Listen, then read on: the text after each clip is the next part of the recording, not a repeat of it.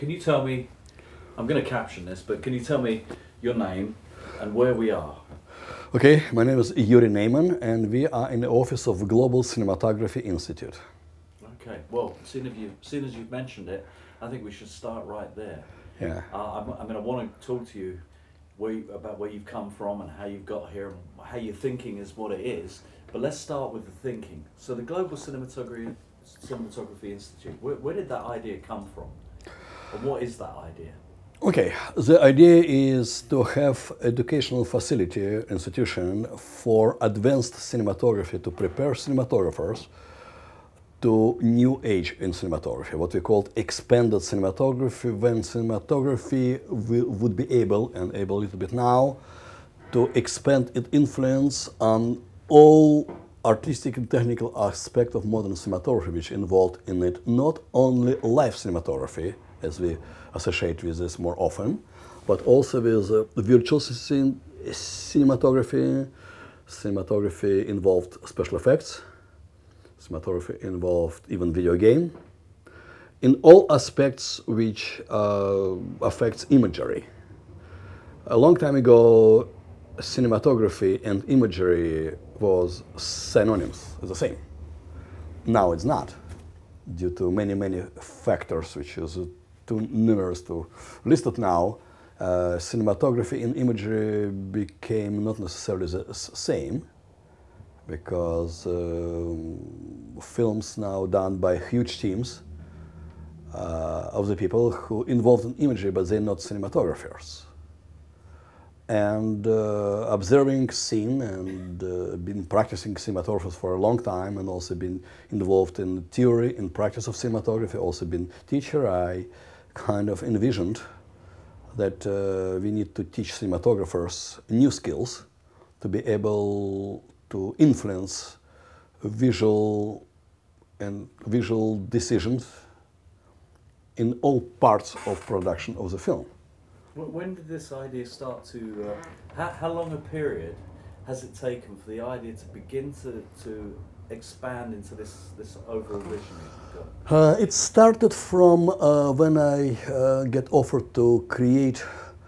uh, first class, I believe, in the United States at least, maybe, uh, history of cinematography for AFI film school. It was like 2007, 2006, and some schools this time, 2007, I believe. So I've been offered to create, uh, we were talking about necessity for students to know history. Like any artist knows history, everybody knows history of craft or art. And, um, and uh, I create like short history of cinematography for people to understand what they're doing and just a lot of people thinking that everything was done when they've been born. is not. and uh, ju- just to show where is today's cinematography is, how it can benefit for learning what's happened before, because everything going in cycles, obviously. Like So you must have been thinking about this before you did this this particular lecture or this particular course, yeah?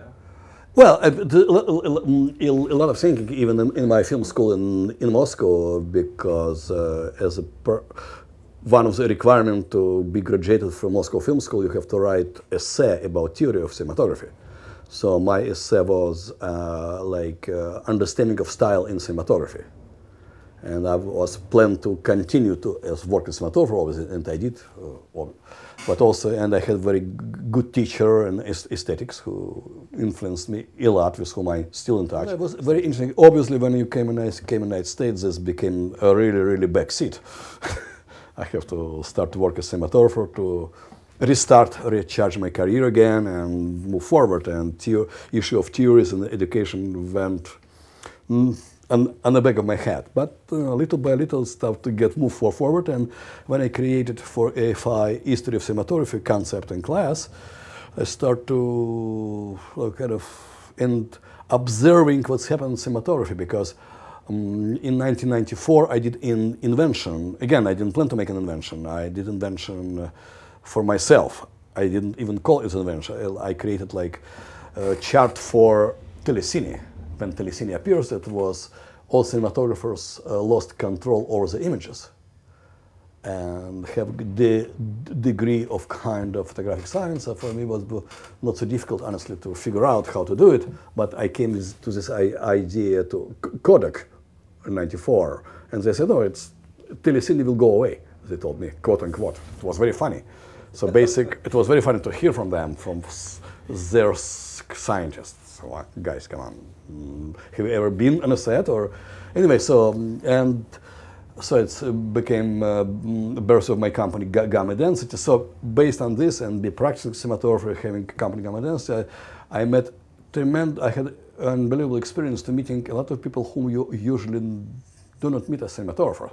Cinematographers are rarely meeting, meeting each other. They're not extremely professional friendly, no.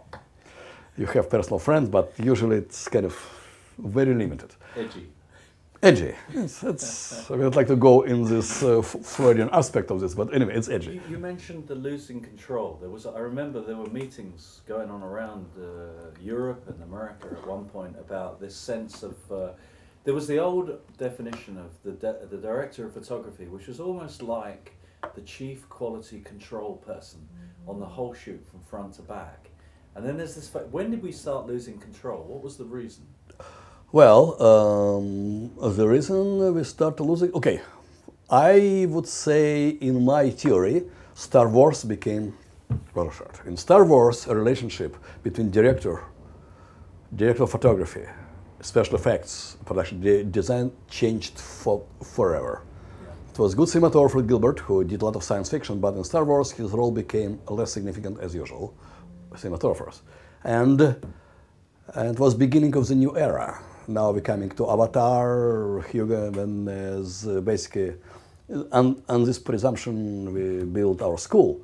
But again, what I'm saying, I have to go back. Uh, being um, kind of inventor of control system, which chart and uh, uh, 3 system in the same room as office, I met a lot of DPs which usually you're not meeting. And I start to see how, I start to hear no, I became familiar with a lot of strange stories, what's happening, yeah. what's happening, and how a lot of decisions been made uh, without even asking, saying cinematographer, which definitely led, leads, and will lead, if we not stop it, to, mm, uh, I would say, devaluation of, of profession. And uh, this that I have very special perch uh, to see on both sides of the fence from technological point of view as an inventor, as a practicing cinematographer, and I start to see what's going on and start to give me, well, we have to change system of ed ed ed education. Then when I started teaching AFI, it became more clear to me just way of people teaching. And I've been teaching the school. I, I thought after Liquid Sky, I thought like in New York uh, University, um, St State University, and I've been teaching seminars, teaching tons. And so I, I got a lot of information in front of me, which requires action, and action was on, an answer would be on only one. We need to create totally different system of education of cinematographers. And little by little, kind of, um, it came to idea it has to be totally new new system of education. And um, when I spoke with Vilmos Zsigmond, because I obviously I knew Vilmos and uh, I knew seminars, and for um, Gamma Density Journal, I did interview with Zsigmond. He considered like this, yeah, yeah. Zsigmond, yeah. And when I talked to him about it, and we start talk about his days of in school in Hungary, my days in school in Moscow because all Eastern European, which is very strong film school programs or curriculums, based mainly on Moscow Film School program. It's happened historically and otherwise because program was created before World War II by like government called best cinematographer. Okay, do it. And best cinematographer did probably best program. And after end of World War II, after like li liberation of Eastern Europe, and all schools, uh, like Polish school, Czech school, Hungarian school, Romanian schools, they, ba they basically accepted the Soviet system of film education. I don't know what's happened with, with directors or scriptwriters, but I know about cinematographers. They basically have the same system. So I spoke with many Polish cinematographers, and we started to exchange notes with Vilmos, and definitely talk about how they've been taught, how like in 50s, how, how I was taught in the end of the 60s, 70s. Yeah. The same, and we, we kind of, it was a good system. It was, uh, you have to uh, learn a lot of things bef- before you became a cinematographer. How, how would you characterize the fundamental difference in the way that it was taught before and what your vision is with the Global Cinematography Institute? Uh, we are teaching. Uh, basic difference is basic difference is that we're teaching everything which related to image creation, not only by live camera or digital camera, which is basically tool. Well, we teaching pre-visualization. We don't plan to people will become expert, no, but they have to understand what what conversation is all about and bring their cup of tea for the, for the table mm-hmm. something to the lunch. If they would not know what people talking about, they became ir- irrelevant. We're teaching them digital um, lighting. How yeah, yeah. digital lighting. We're teaching them all aspects of post-production on both sides to able to make qualified decisions. Because now it was a period when DIT took over. Is this to take power back, not power, but is this to take responsibility back for the, for the cinematographer? not only responsibility. well we can say duty responsibilities whatever to okay to become back at the helm of the image um, creation because in today's pro- the process is very important live cinematography i can if i have time later i will show you our presentation so live cinematography per, per, per se it's only part of uh, big film now look let's say Trees of Life. Wonderful work of Chivo Lu- Lu- Lubezki, one of the finest cinematographers, but his work on, only part of this. Yeah, yeah. The rest of this like dinosaurs, which and the explosions and everything else, which is, has. Uh, I wrote an article about it, uh, which is extremely important for whole fabric of the film, Yeah, but it is not your film. Hugo, Avatar, yeah, everything else. So also we're teaching in our school virtual cinematography, which is when you use virtual camera with virtual. up- Avatar received, uh, was nominated for. he um, no um, D, DP um, received Oscar. It was a lot of de- debates about it because uh, mm, people has equally reasonable argument on, on, on both sides. Yeah, okay and uh, well they have to give to somebody yeah. somebody yeah, yeah. is responsible because Uh, so today is dp in charge it's no institution because uh, one of the things what we're doing in our school we're preparing our people to be director of imaging Yeah. Okay. So- what, what lies behind the desire to take back that uh, control? What do you What do you think is the issue? Because in the 30s, say, the director would maybe direct the actors, and the director of photography would place the camera in relation to the art department making the uh, Mhm. storyboard. So there Yeah. was a compartmentalized construction of how the images were controlled. Yeah. And now with uh, digital practice, Mhm. there is a tendency towards compartmentalization.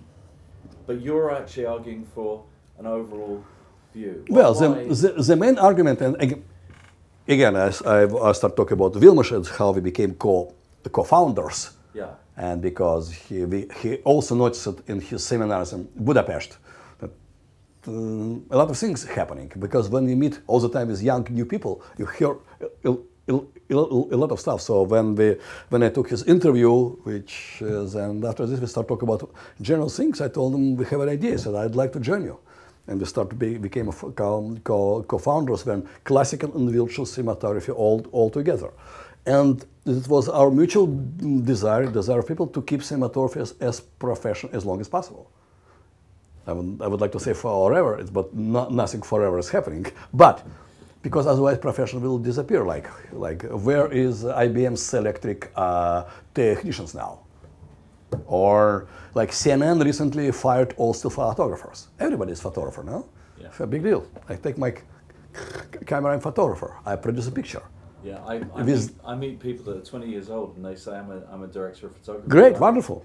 It, it is great, but I wondered because the issue around it, like you know, if, if I say I'm an artist, the truth is that the world needs to also see that. I can't just be an artist Okay, I. everybody can be director of photography who, who cannot prove opposite. it's very important. Yeah, yeah, yeah. Because what kind of director of photography is uh, because you, are you a shooter or a director of photography? Because people has uh, very foggy ideas what director of photography does. Yeah. It's not it's not guy in a silk s- scarf and nice uh, jacket Yeah, looking yeah, in the camera. No. Yeah, yeah. How, how did the, okay? Here's a crucial issue on some levels. Yeah. Which is the issue of the digital. Because I said to you, I mentioned to you before we began to talk about that how how might the digital cinematography have affected cinematography, and you quite rightly said to me, no, the issue is cinematography. But where does where does the digital sit within image making? In Well, it's just another progressive tool yeah, of of, of expression. It, it expressed things very differently. Because it just happened this way. Digital tools became part of everyday life of in cinematography, in photography, and art in general. It has its own way of, in their own way of expressions. They allow to show things which have not been seen before, with this high speed, like uh, like uh, with with 3000 ASA, you can see very different. And important part, it changed aesthetic of the of the images.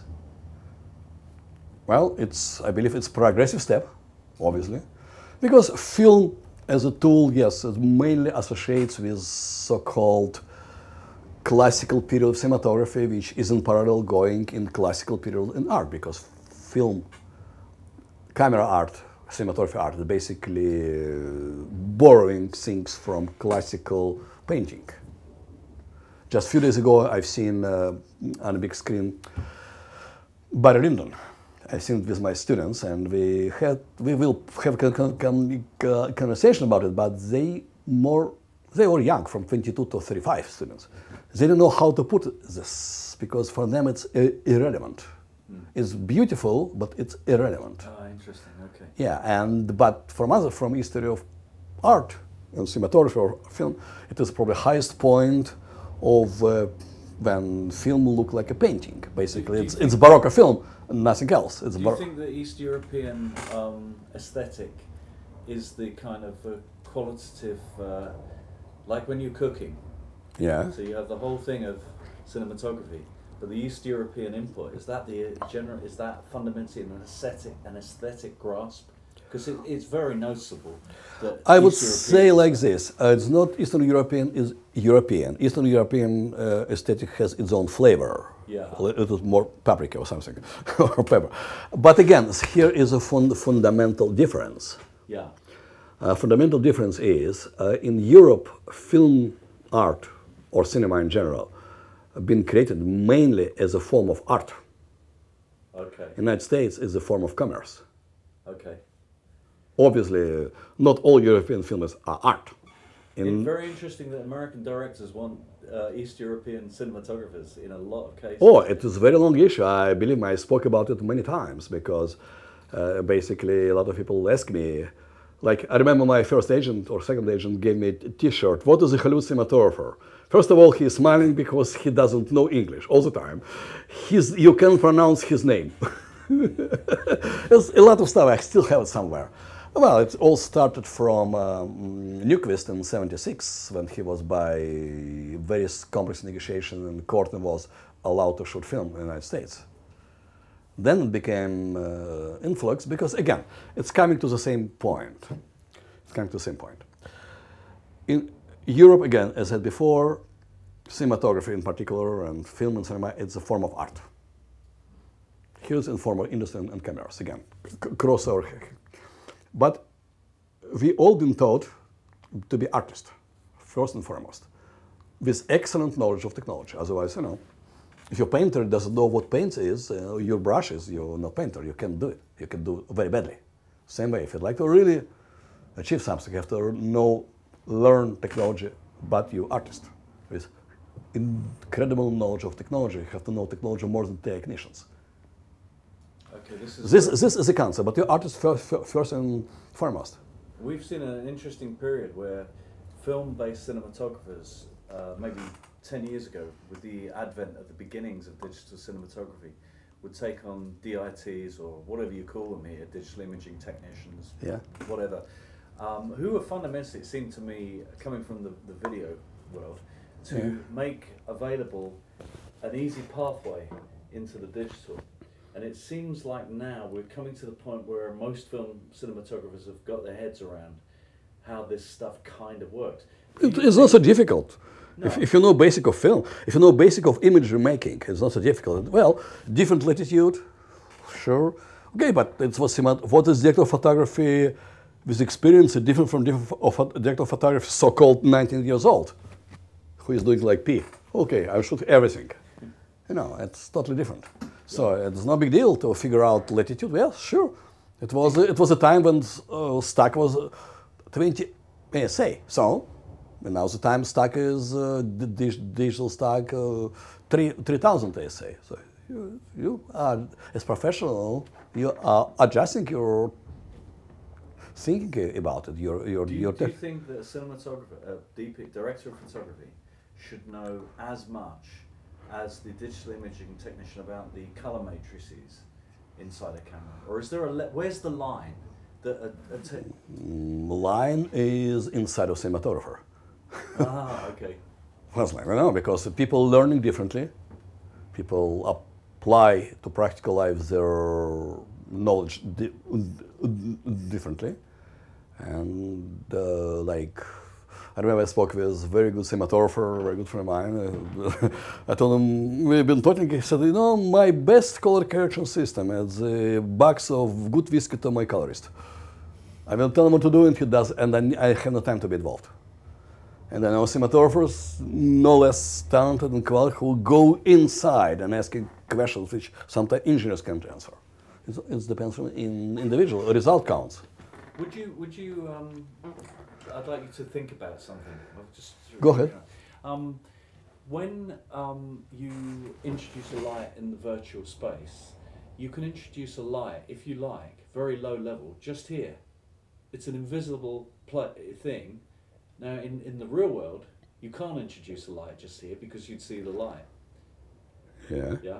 So I'm wondering about the practice in virtual cinematography, which enables you to place, you know, you know your theory, you can place the thing anywhere you like. Yeah. But there's something about when you're in a live set, one of the biggest uh, issues is how to get that light in that place so that the camera can't see it, that does exactly the right thing in exactly the right way. And there's something about the difficulty of that that's a very interesting thing for the cinematographer and the for the grip and for the, the electricians. Do you, do you see what I'm trying to get at here? Okay. Uh, mm, correct me if I'm wrong, but are you asking what is motivate you, what you have to possess, or what influencing you in setting light?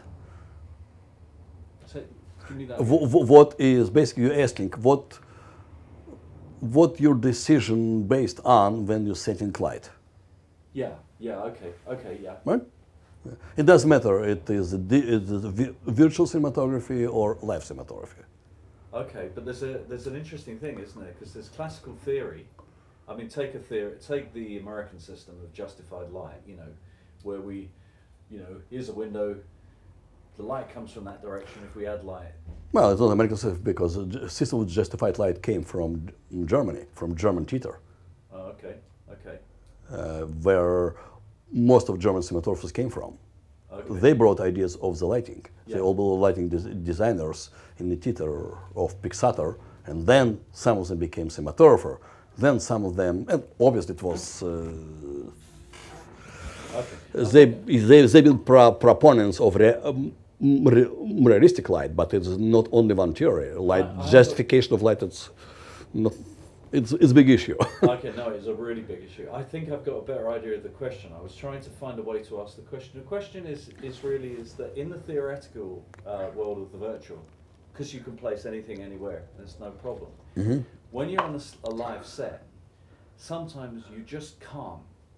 So you have to find an interesting. You have to break the rule Correct. to make the rule. And um, there's is there in the virtual okay is there in the virtual world? Do you think something that's the same as the problem within the real world that produces innovative gestures? Mm, okay. For for okay for sake of argument, to make it simple, let's not make for now d- differentiation between the virtual world and live world. It would be easy because otherwise, we let's start from a more general picture. Okay. A question is okay. First of all, light must be interesting. Okay. Some people say it has been motivated. It's all big word. Motivated by what? You can have very boring because, as Ma- Molière said, all genres are good except boring one. Number one. Second, uh, uh, second is uh, I remember one of my teachers, uh, Galamnya. I remember him uh, like he was head of our like Pudovkin cinematographer, like classic.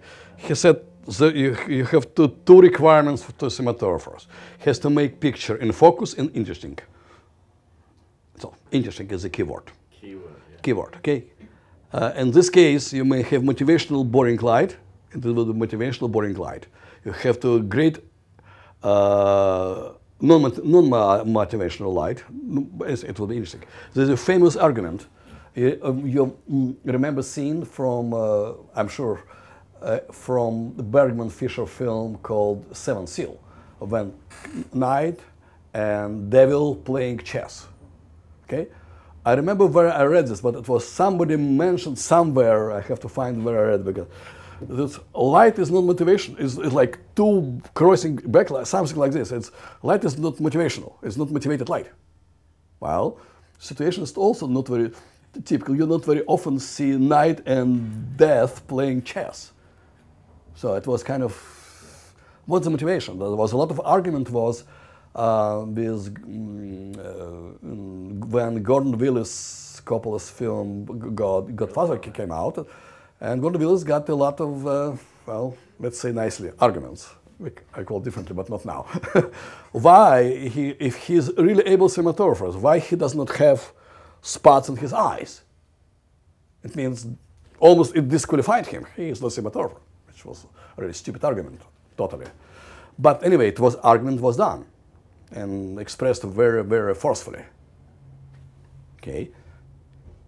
Well, yes, in real life, you have uh, yes, you have some mm, a light re- reflection, classical, classical, st- standard classical theory, a practice. You have to, if you don't have, I remember when I was start make pho- photographs for one of the first class, you have to have small light, small, not affecting exposure, small light, but you have to create eye. Then you're professional. If not, you're nothing.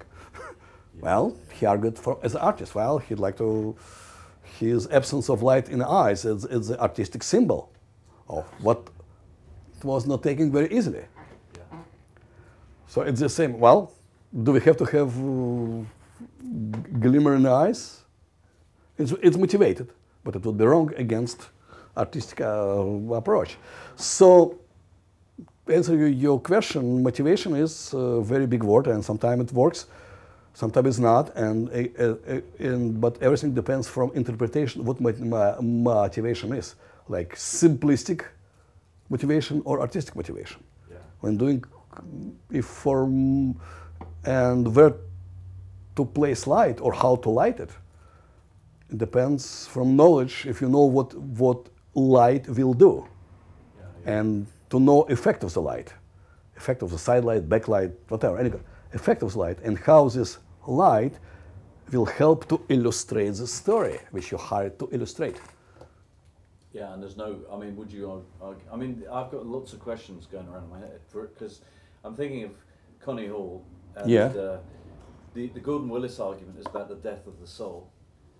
I think in the in the darkness of the eyes, yes and uh, Connie Hall's work around the overexposure of the image uh, in the early days. You know, to if you're going to overexpose it, really overexpose it. Don't mess around.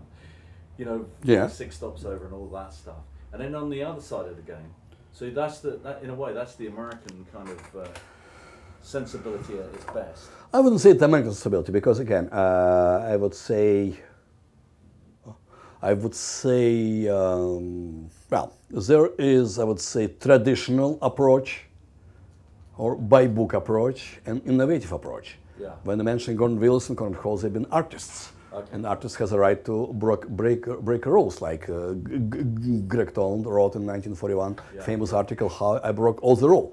All right. Okay. I must. I must. I haven't missed that one. I'll Oh yeah, how I broke all the rules in Citizen Kane. Well, he broke all the rules. Yeah. And it is uh, arguably one of the most significant articles about art of cinematography. I, mean, I was thinking about this arc of uh, innovation with Conrad Hall and Gordon Willis, Vittorio Storaro, who's got this kind of system which is wonderfully uh, poetic. Um, It's, I would say it's innovation. It's artistic approach. Sometimes artistic approach became innovative, sometimes not. But it's uh, artistic approach to the imagery, to way you are illustrating your script. uh-huh. Okay, it is. Um, some of them became innovative, like, for example, a very famous scene in Barry Lyndon with candles. Everybody like talk about this scene. Wonderful. I've seen it again and again and again. I've seen this, uh, and I believe I spoke in my class about it. It, it is more innovative from point of view of technology Yeah. than from point of art, because what's happened. First of all, it- it's, it's like okay, if you put camera at night, proper exposure, have gray overcast. It's what how nights look like. When artists light nights, they put a lot of con- contrast. Impression of the night would be totally di- di- different. It was great technical achievement by many people, and Kubrick and uh, DiGiulio, um, everybody who found, found the 65 millimeter lens, able to make it work. But what they did, they basically, it's basically kind of flattish image. And even if uh, Kubrick always said uh, Georges de la Tour and his famous painting was inspiration, but if you look at Georges de, de la Tour side by side, they inspired him for sure. But it's not exactly the same image because in Georges de, de la Tour, like, like Saint Matthew painting, is like high contrast, which in our mind associated with candlelight. When they put like 0.7, mil, 0.7 f-stop and shut everything how it is, look, it's very flat because this make they put put air flat. So what what I'm saying it is technical innovation because today everybody can do with they have like speed like 100 SA. They have to put a lot of lights and everything. So it today you can do scene exactly the same with any video camera with iPhone. Mm-hmm. Trickery is how to make the scene feel like candlelight. Just do not reproduce only the candlelight. So this this kind of leads me. I mean, this is right where I need to be really in the Yeah. questioning because the. So here we are with digital cinematography, um, which is an electronic way of you know doing what photochemical work did before. Are we at the place? I mean, just going back to Connie Hall with overexposure. I mean, one of the issues around top level, highest level exposure on a digital camera is sometimes they're going to yellow or going to pink.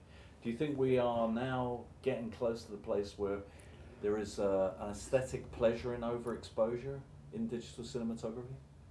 Are we still not there? Well, okay, he did overexposure not because he didn't know how to expose. He liked to make different image which can express something which would be not not able to express by normal exposure. It's his artistic choice, and definitely when you hitting like five f stops over and printing in light hundred, it's totally different image. And maybe he is looking for this abnormality of overex- to make normal image from horribly overexposed negative, which need to be printed on light 65, whatever. It's his artistic choice. So, and uh, I, I'm sure there is a somebody already, or will be soon, who decide to do similar things with uh, digital. But again, there's a big, big, big difference between film and digital. In digital, you would like to avoid uh, overexposure because nothing there.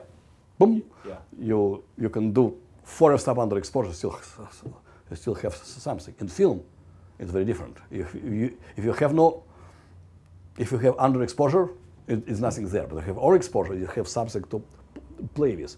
I believe uh, there's more room for experimentation, artistic experimentation, when, in digital you do underexposure. You start to see a lot. By physical nature of the sensor, if you're overexposed, you have nothing to recover. And why what digital did for everybody, had been able to show nights as never seen before. It's very easy to shoot at night now. It's very easy because you just can't imagine them. All dark areas in any stage, you need light because you can. There's a noise, there's a balance between technical quality, artistic quality, for sure. But what digital cinematography does, uh, you, you're going into territory which was never, never available to many people to go in dark night without special lighting. What, what do you feel about the, uh, the tendency over the last five years to protect data under any circumstance, even if the protection of data was compromise the artistry? How protection of data? I don't understand. Um, in in the in the last days of the analog video, Yeah. it, it struck me that one of the things we had to do to achieve uh, innovation was to corrupt corrupt Yeah. the image in in the shooting stage, so that when we retrieved the uh, the image again in post production, that we made changes that could have bring us to places that we couldn't get to if we'd have protected the image strongly at the beginning. In other words, if you oversaturated or if you uh, I don't know if, if any any kind of uh, process that would be regarded as bad shooting, when you went to post production to come back to the, for instance, taking a red, highly, so going with the art department Yeah. and making highly uh, prominent Sa- saturated red. saturated reds, Yeah. so that when you desaturate, you know, which would look terrible if you just treated it normally, but in post production, because you pulled everything back, the red sat at the normal level, and the rest of the shot was diluted. Mm-hmm, Yeah, so in the contemporary situation, we would protect the data uh, by not over overexposing or oversaturating or over anything. We would uh, all in all situations we would protect it and, and believe, have faith in raw, so that we could do what we wanted as a post production gloss of the image. I can always tell when there's a look been put on the image at the back end. Well, when you're shooting raw, okay, normal logic would be to protect everything what you exposed.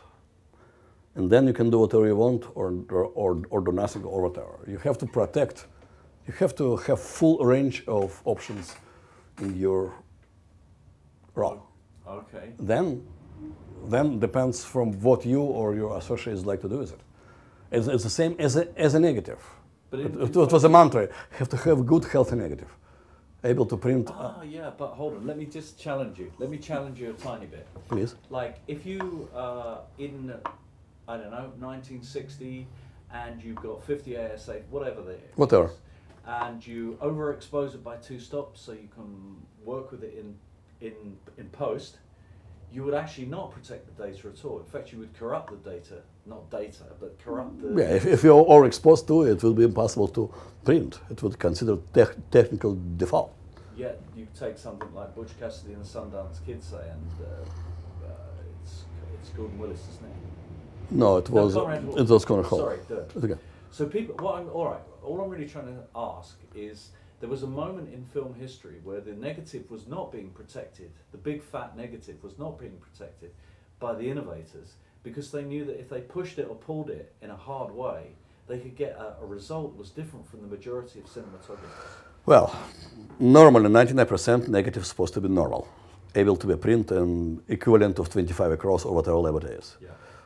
Some people, due to their influence, artistic authority, were able to make experiment, like on Hall, and again, some, and you know, there is a known case when he horribly overexposed one TV series and like um, was described in one of the articles, and well, he was supposed to do internegative, interpositive, and recover everything and um, or it was, and so they have to do it with acknowledgement that it is done for special reason, not a technical mistake.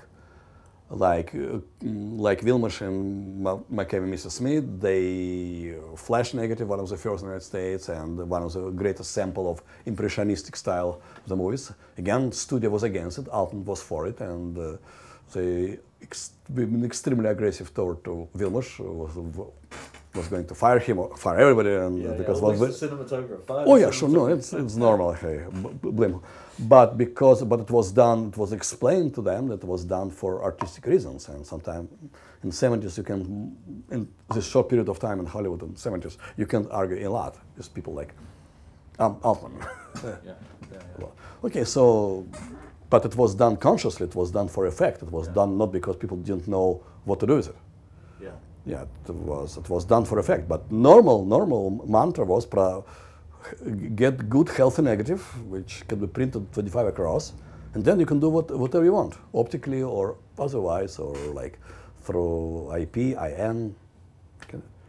So mm, logic saying you have to create enough foundation to do whatever you want later, because you can think I'd like to make the scene in yellow. Later it could be seen maybe in blue.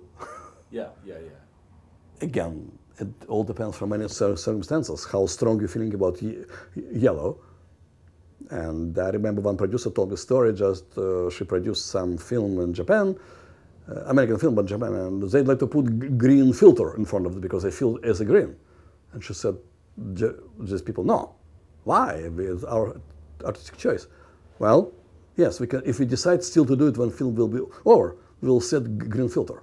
But now we don't know. It could be very different. We can't lock ourselves in green filter image. The baked in look. Huh? The baked in look. Yeah. Yeah. Again, there's um, especially such a strong one, green filter. You can, you can get get out. So obviously, it's coming back to the issue of if you designer of the images, you director of imaging, you basically know what's going. You've been able to influence outcome. If you uh, prove to be knowledgeable and reasonable, you can do a lot of things.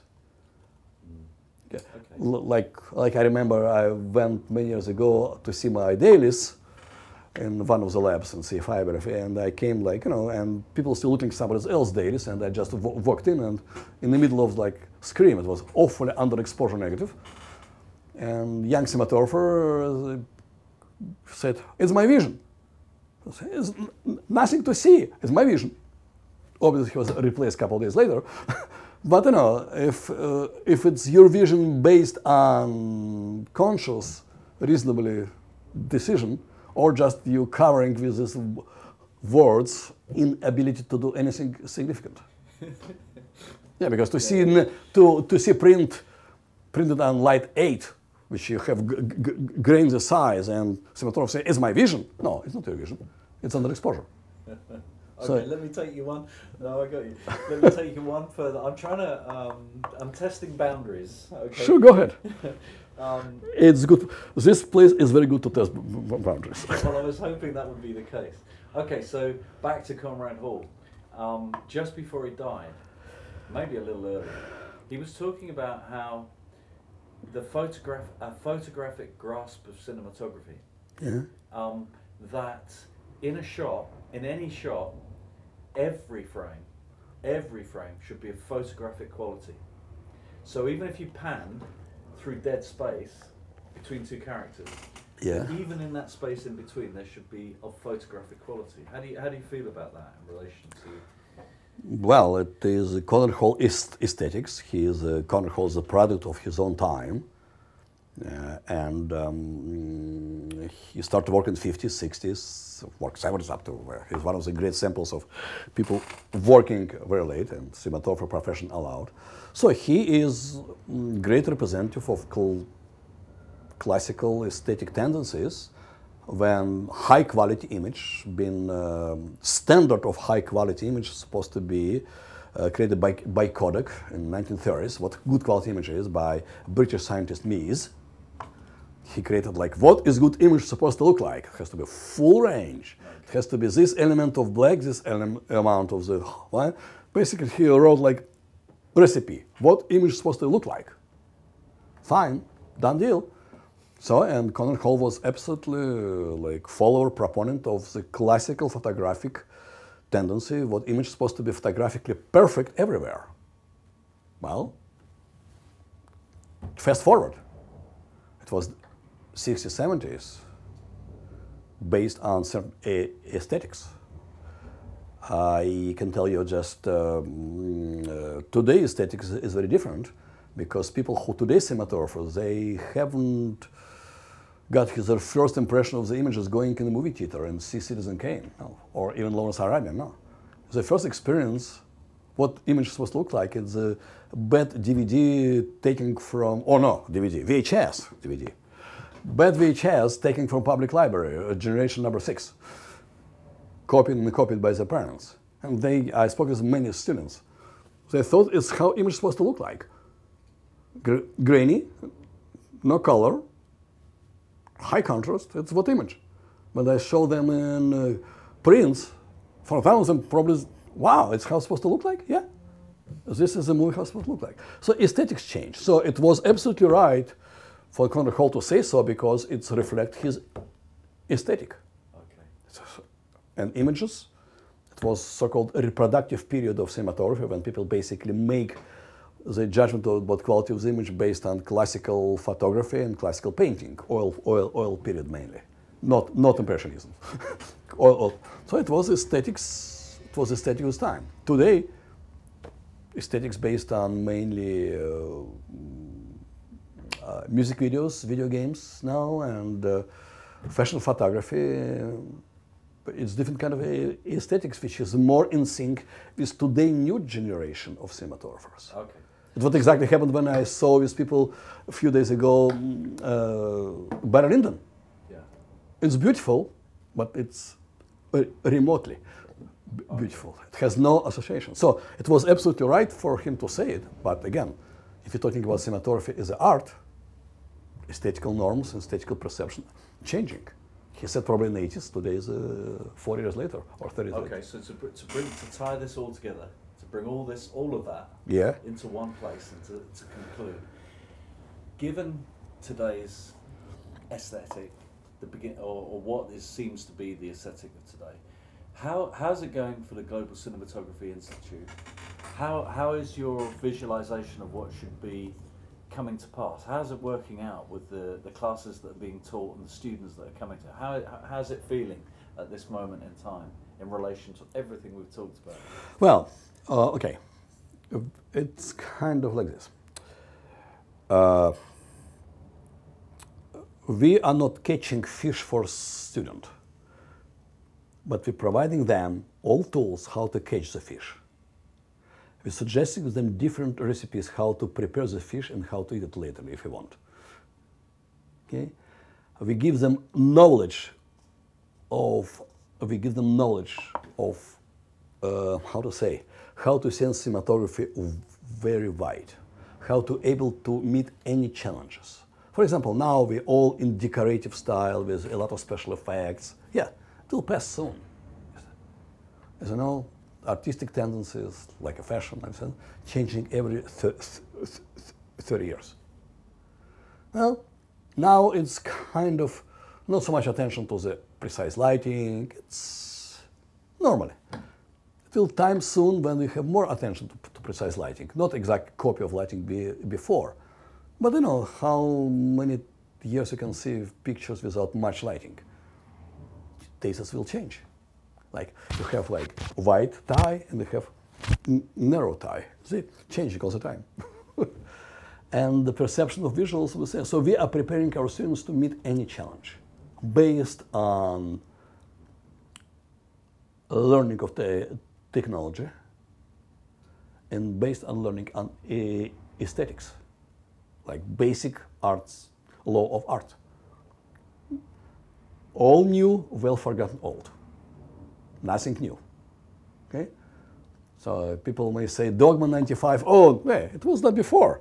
It was, that's starting from Dziga Vertov, new, new wave. It was happening every uh, few years. Yeah, we don't like any artificial things. Fine. Okay. Now we like we may now we can be, how we can be less artificial things now with Avatar. It's all artificial things.